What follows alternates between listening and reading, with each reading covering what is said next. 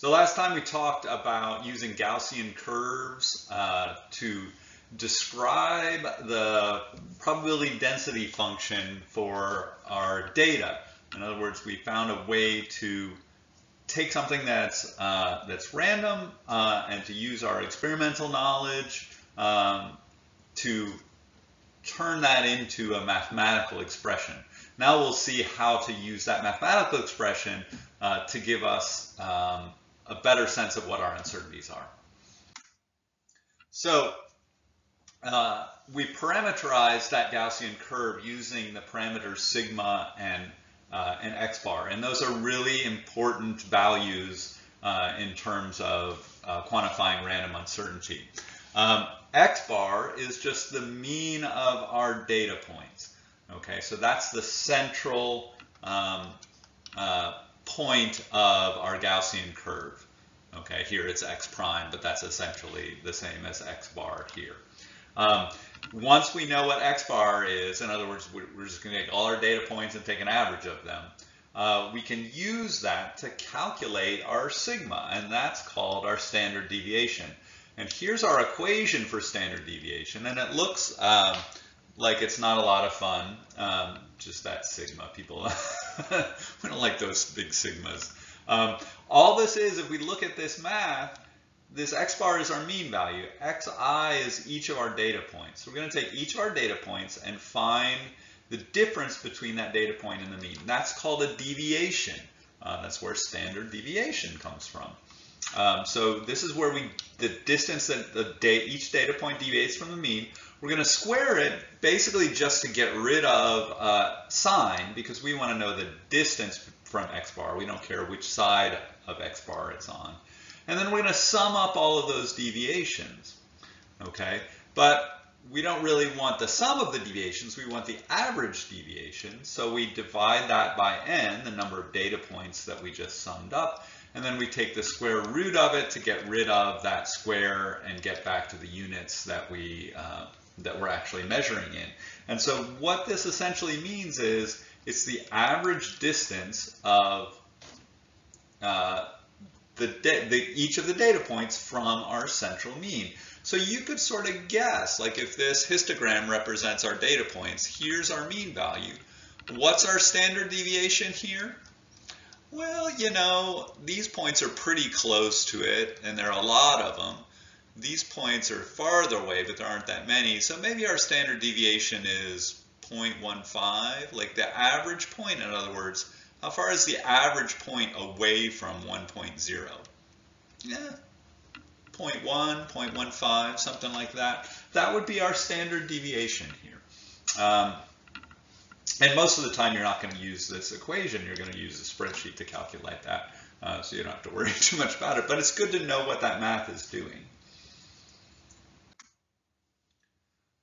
So once we know those two uh, parameters, x bar and sigma, we actually have a good sense of what the nature of our data is. We know what the spread of it is, how far away most points are away from the mean, and we know what that mean is. It also allows us to guess about where the next data points are going to fall.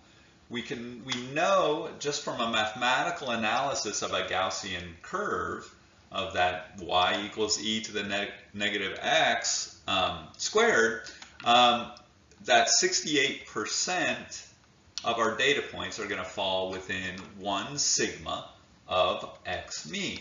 Okay, so if our, think of this as a histogram here, right? Our bin goes from negative sigma to sigma, and 68% of our data points fall within there. Uh, within 2 sigma, 95% of our data points fall within there. So we can write in uncertainty parlance something like this, where we say, we are pretty sure that our the true value is um, within 2 sigma, 2 uh, standard deviations of our mean, and we're 95% sure uh, that that next data point is going to fall there. Okay, and so we can uh, we can this mathematical expression can be translated like this. And make sure you understand that because that's a key point of um, about standard deviations and about the way we use them for uncertainty. So sigma gives us a way to start talking about what's the chance that a data point lives within some range around x bar. We give that range in terms of standard deviations a name, and we call that a z-score. Um, and that z-score, if you look at this equation, this is just a data point.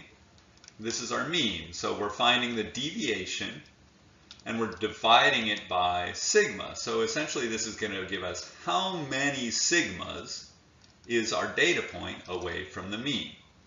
Um, so if z is equal to 2, x1 is 2 standard deviations away from the mean.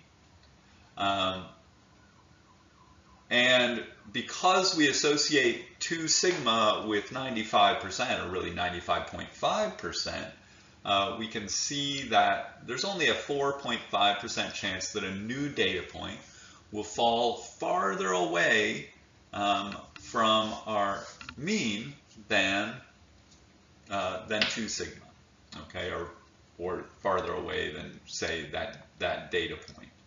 Now, we can use z-score calculators, um, and here's one that I find uh, to be pretty useful on uh, on the internet.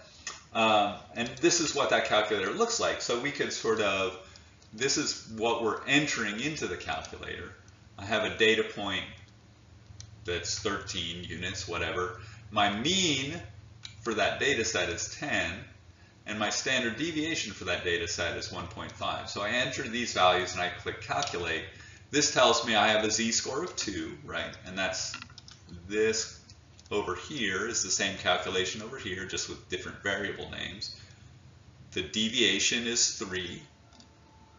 My data point is 3 away from my mean.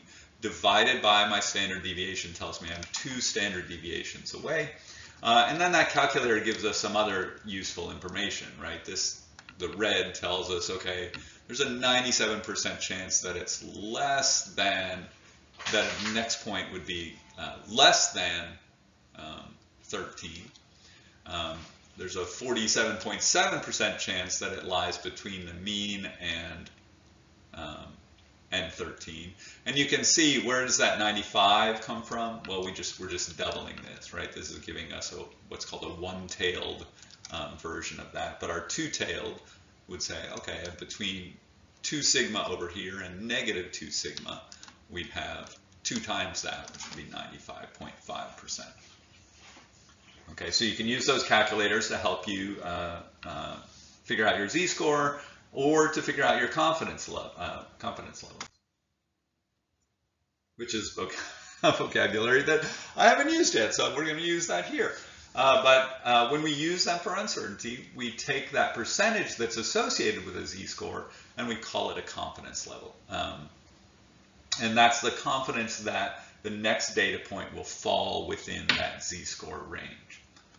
Okay, so if we write this here, where z is a function of p, right? If uh, if my percentage is my confidence level is 95%, my z is going to be 2. You can use a z-score calculator to figure that out. Um, then I can write this, right? That my next data point is going to fall within 2 sigma and I'm 95% sure that that's the case. Now, the fact that when you look at confidence levels, they're almost always going to be 68% and 95%, that's because of this math, right? Those are the convenient numbers for 1 sigma and 2 sigma. Okay. As engineers, we almost uh, always use 95%. I rarely see 68%. Um, and so you, you'll get used to using 2 sigma. We like being certain. engineers. want to we want to make sure we know really what our limits are because we don't want that bridge to fall down. All right. So this is a, an important point. When we talk about standard deviation, we're saying if I took one more data point, where would that data point fall?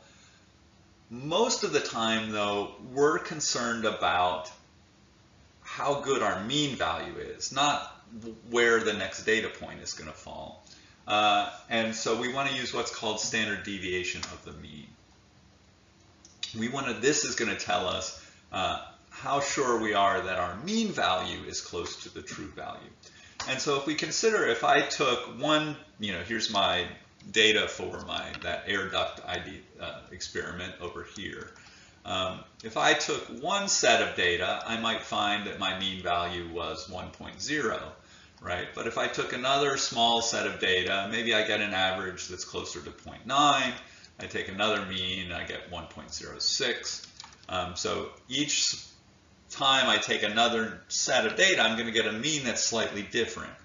But those are going to be bunched closer together, right, uh, than our individual data points. Like here's my mean values. Um, they're all going to be closer to 1, basically because I'm going to water down any outliers, right? And like say I get this data point, what's the chance that I get, you know, if I have an n of 5, I take 5 data points. Not all five of my data points are going to be over here. Some of them are going to be over here and there and that's going to get me as a mean closer to my true value. Uh, and so there's going to be less scatter in our mean values than there is in our individual data points. That means that that standard deviation of the mean is going to be smaller uh, than our standard deviation. And that's what this equation says here. If that square root of n, we're going to divide this this is always going to be above 1, uh, and so this number is going to be smaller than that one. You can do a little thought experiment and say, well, what if I took a, an infinite number of data points? Well, in that case, my standard deviation of the mean is going to be 0 because I will have all my knowledge. I'll, I'll understand what all of my data points are. Um, and so that's going to give me uh, that true value. If I my n is 1, uh, then my standard deviation of the mean is the same as my standard deviation. Okay. When we write, if I take um, a set of data points and I want to report, like if I measure one thing 10 times and I want to say what the value of that one thing is, uh, we're going to use standard deviation of the mean and we're going to use it like this. Okay, where we find the standard deviation of the mean. If I want a 95% confidence level, I'm going to use Z95, which is 2. Um, and that's going to be my uncertainty, two times the standard deviation of the mean. And again, this is a sort of important translation here. Make sure you understand this. If I took another data set with n data points, I'm going to be 95% certain that my new mean for my new set of data is going to fall within this range. And that's a way of expressing the, the random uncertainty in that uh, set of data.